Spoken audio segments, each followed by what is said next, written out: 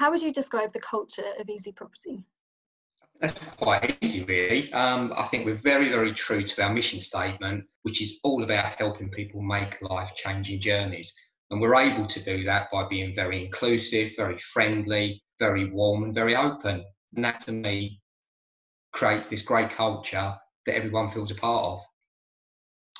Um, culture, so uh, very supportive, um, a great balance of being relaxed and having fun, but maintaining professionalism as well. Um, so, uh, very professional in, in how we approach dealings with clients and with each other. Um, but, but yeah, there's certainly a fun element uh, and, and a, an opportunity to really um, put your own personality and, uh, and, opinions forward into that as well. Um, and it's great to be part of a company where everyone shares in each other's successes as well. So um, that's very much what the uh, there's a very much a team culture uh, in what is a self-employed role to, to easyProperty as well.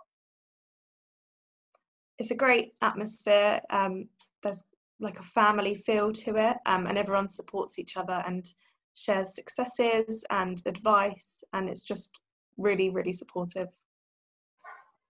Think the culture of Easy Property is quite a nurturing one. It feels like a family unit. So during training, there was no judgments. I felt comfortable just throwing answers in there and seeing what was right and what was wrong and learning from that process.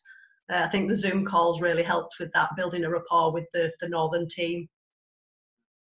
The culture of easyProperty is very much, um, there is no titles, there's no, even though obviously we've got the, the big man being David running the show with Jason, um, they're all normal individuals that you can pick the phone to any time of the day or night, etc. They're always available.